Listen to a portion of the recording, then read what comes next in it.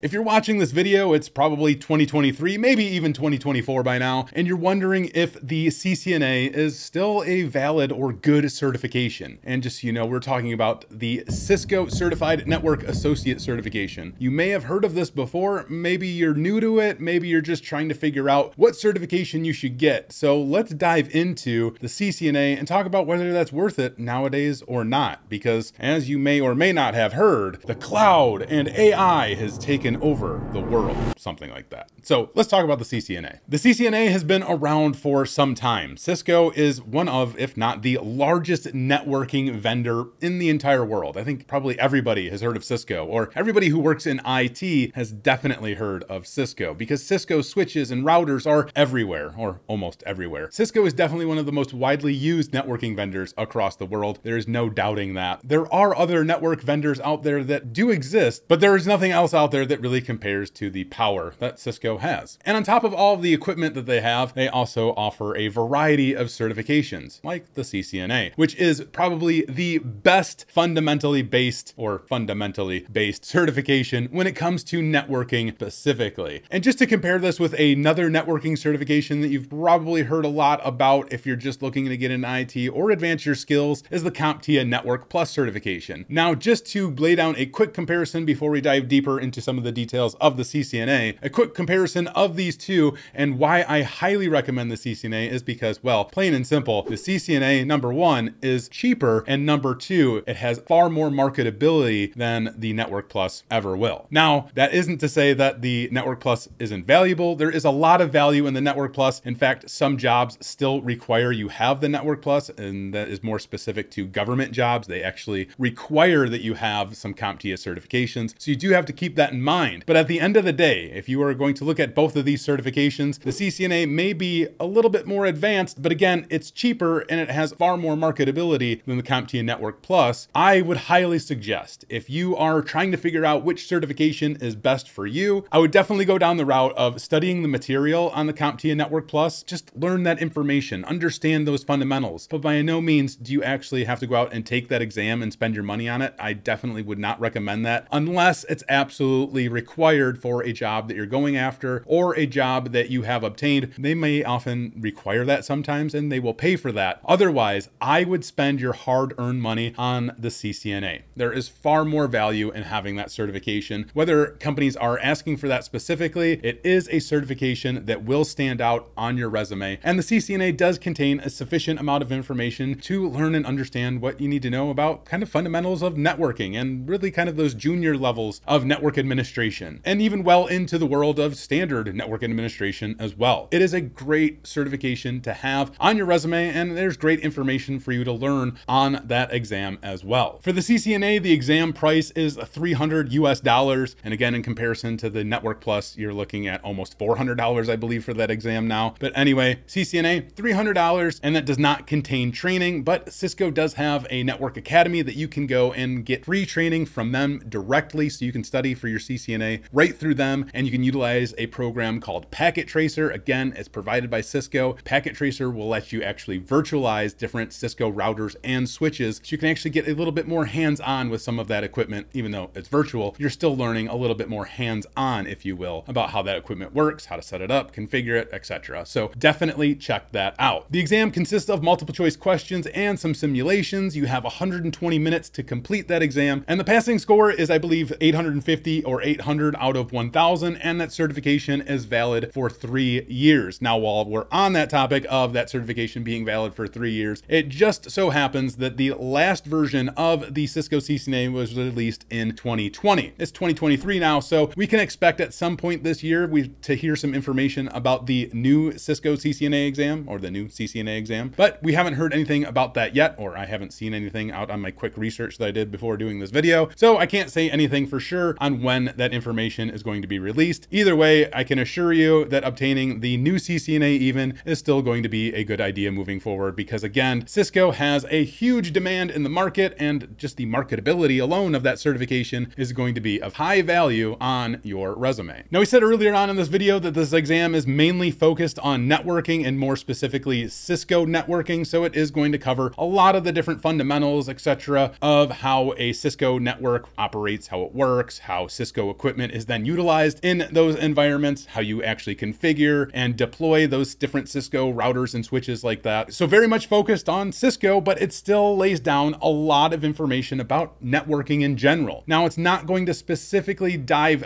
deep into a lot of the networking fundamentals. And again, that's where the Network Plus, just studying for that certification comes in handy. But if you're looking to study even further and, you know, packet tracer isn't working for you and the uh, Cisco Academy isn't working for you, I highly suggest utilizing IT Pro TV. They're not sponsoring this video, but they are an affiliate of mine. So if you use this coupon code ITCQ30, it saves you 30% off of their program. But one great thing that they offer over there at IT Pro TV is practice exams. So as you're going through and studying for your CCNA, you can go to IT Pro TV and you can actually take practice exams for your CCNA right then and there. So you can learn how you're performing on that exam before you actually go out and take it. And they also offer training over there for the CCNA as well. And they do have practice labs that you can go on and follow along with them as well there too. So go check out IT Pro TV. Link is in the description below. And to summarize this entire video, essentially, the CCNA is still valid. It's still a great certification to have. There are over 9,000 jobs on Indeed right now that are asking for the CCNA certification. So if you're trying to figure out what the best certification is that you need to propel your career, to get started in your career, or to learn more about networking, again, I highly suggest the CCNA. That's all I got for today's video. As always, take it easy.